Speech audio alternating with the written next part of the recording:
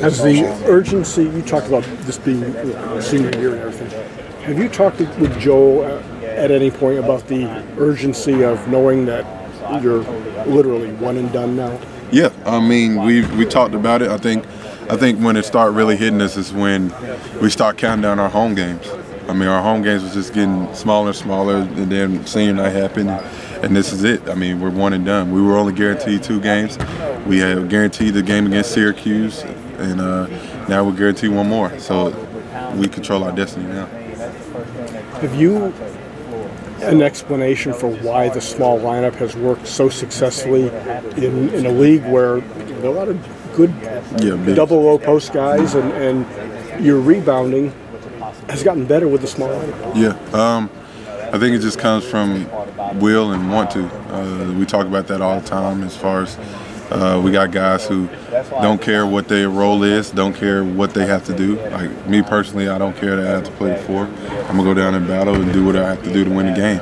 And I think we got guys coming off the bench that watch us who are young. They watch what we're doing to try to implement it when they go in the game to try to get better. Coach Williams says he does not run rebounding drills. Mm. What what do you guys do to work? Why do you why are you so successful rebounding?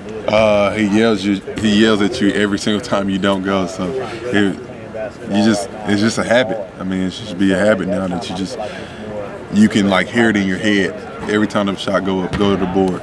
Go to the board. I mean, sometimes you don't do it all the time, and you know when you don't do it, and we miss what what's happening before he even says it. How important is legacy to you? Like you and legacy.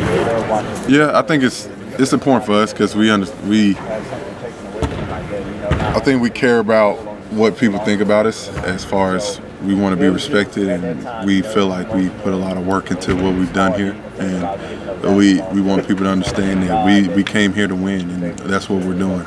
Uh, we think it's more than everybody in our class has gone in NBA and done great things in NBA and we're proud of them and we're all good friends with all of them and you know people like say they've been here forever, but we've been here forever trying to win games and win national championships. And I think that's the biggest thing we're trying to show is that you can stay four years and be successful.